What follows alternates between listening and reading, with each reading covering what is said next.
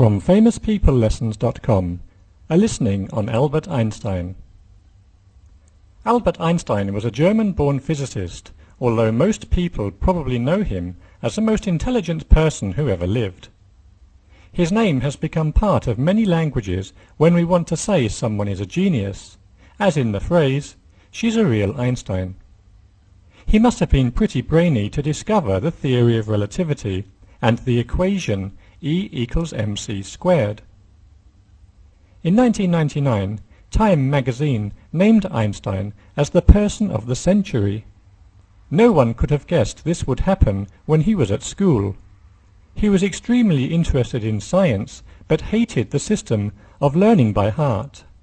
He said it destroyed learning and creativity. He had already done many experiments, but failed the entrance exams to a technical college.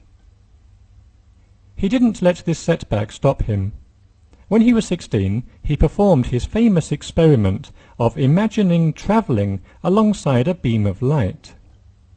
He eventually graduated from university in 1900 with a degree in physics.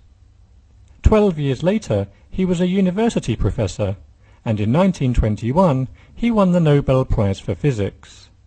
He went on to publish over 300 scientific papers. Einstein is the only scientist to become a cult figure, a household name, and part of everyday culture. He once joked that when people stopped him in the street he always replied, Pardon me? Sorry? Always I am mistaken for Professor Einstein.